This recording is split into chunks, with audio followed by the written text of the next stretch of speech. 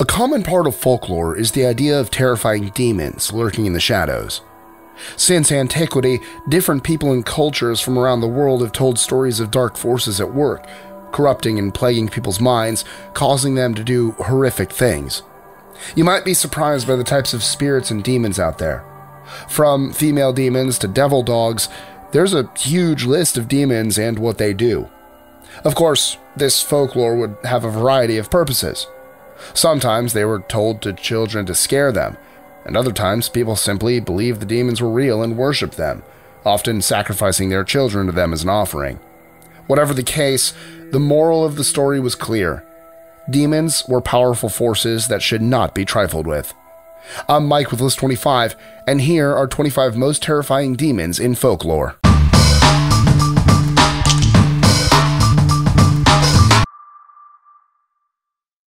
Twenty-five. Yuki-onna. Yuki-onna is a type of spirit known in Japan as yokai. These spirits are the closest things to demons in Japanese folklore, and Yuki-onna doesn't mess around. She's also called the Snow Woman, with an icy and pale appearance. She appears in snowstorms, elegantly drifting from place to place. While she might seem beautiful, you wouldn't want to get near her. She feeds on human souls, sucking them out of their mouths until they become hard as ice. Twenty-four. Asag. This demon comes from Sumerian legend. He kills humans with fever and head disease, and is so horrid looking that he has the power to make fish boil alive in their own waters.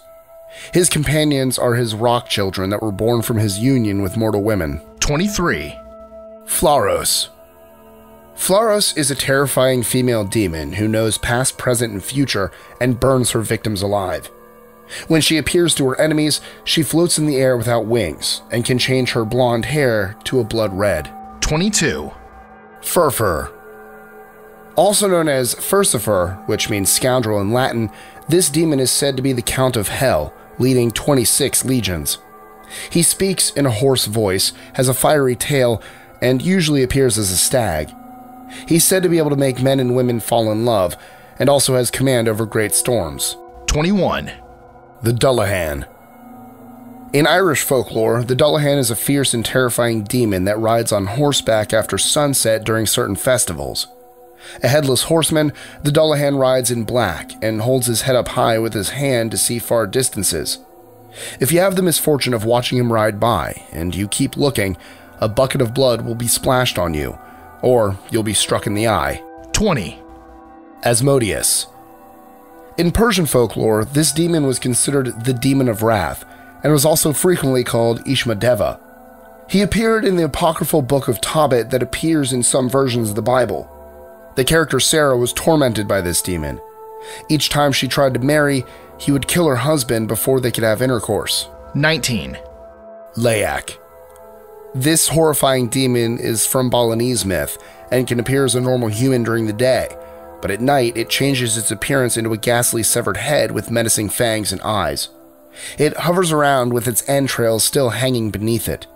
Usually it haunts graveyards, feeds on corpses, and also hunts pregnant women and children to suck their blood. Eighteen. Abaddon, aka Apollyon. While the term Abaddon typically describes a place, this name is given to the name of a demon, and not just any demon. He rules over the bottomless pit and can command an army of locusts to torment people. Seventeen. Mephistopheles. Within German folklore, you'll find the demon Mephistopheles. He's credited to be Lucifer's right hand man, and apparently sold his soul for infinite knowledge and magic. Now, as the devil's main man, he harvests damned souls and bargains with those who also wish to sell their souls. Sixteen. Nian. In Chinese folklore, the beginning of the new year ushered in the arrival of Nian, a demon with the body of a bull and the head of a lion. Because there was nothing to eat, Nian would visit human villages and eat livestock and people living there. Eventually, however, Nian was defeated by a Taoist monk and became his mount. Fifteen. Lilith. As a demon from the ancient Sumerians, Lilith is truly one of the oldest known demons around. While some think she first appeared in the Epic of Gilgamesh, she was also in Jewish texts around the same time. She's said to be a dark spirit with a dangerous sexuality that spawned thousands of other demons. In rabbinic myth, Lilith was the first wife of Adam, but the marriage didn't work, so God created Eve instead. 14, Krampus. Popular in Germanic folklore, this demon is essentially the polar opposite of Santa Claus. With long horns on his head, sharp teeth, and a nasty long tongue, he comes for all the bad children around Christmas time on December 5th. This dreaded day is called Krampusnacht. Wearing bells and chains, he sometimes captures kids and takes them away from their parents forever. 13, Kelpie. Coming from Scottish legend, the Kelpie are demons that appear as humans, but can also take the form of a horse. Every lake in Scotland has a Kelpie spirit, even Loch Ness. While some Kelpie can be beautiful and majestic creatures, others are known to prey on humans. 12, Ronwe.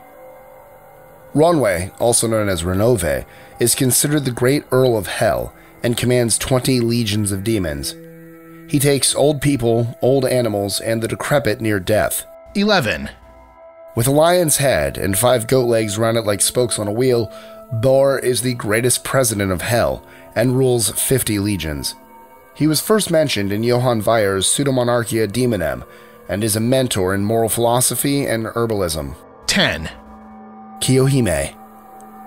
In Japanese folklore, this demon is one of the most famous examples of Hanari Hanya, a demon woman who attained a high level of power. In the tales about her, she transforms into a giant fire breathing serpent, 9, Cerberus. Originally coming from Greek mythology, eventually Cerberus became known as a demon in the third circle of hell that tormented the souls of gluttons. A large, three headed dog, it has massive talons that can tear its victims to shreds. 8, Belphegor. A lieutenant from hell, this demon is said to have been sent by Satan to deceive and seduce humanity. He'll frequently take the form of a beautiful woman to lure his victims, but will also appear as an ugly monster with huge sharp teeth, long horns, and leathery flesh. 7, Euronymus. Euronymus originally came from Greek mythology, but was demonized under Christianity. He's said to devour blue black skinned corpses. As such, he has been named the demon of cannibalism and the prince of death. 6, Malphas. This demon is a grand president of hell, governing 40 legions. He appears as a large raven, or in human form, and will receive sacrifices, but ultimately will also deceive the sacrificers. 5, Behemoth. Thought to originate from Egyptian folklore, this demon is a spirit of the desert and might be inspired from a water buffalo. He rules over gluttony and is the butler and high cupbearer of hell. Usually, he'll appear as a fat elephant or whale, 4, Adramelech. Appearing in Hebrew and Babylonian texts, Adramelech is an idol god of the sun. His name literally means king of fire. He appears with the head of a mule, the body of a man, and large peacock feathers. His worshippers would often sacrifice their own children to him. 3, Beelzebub. Coming from the Canaanite demon Baal, Beelzebub is mentioned in the Synoptic Gospels as the Prince of Demons. He's also been called the Lord of Flies because, in many appearances, he was said to look like a fly. Many demonologists call him the Supreme Chief of Hell, and others have stated that he's just behind Satan in power and crime. 2, Leonard. Some believe this demon was mentioned in Leviticus 16:8 about Azazel and is called the Grand Master of the nocturnal orgies of the demons.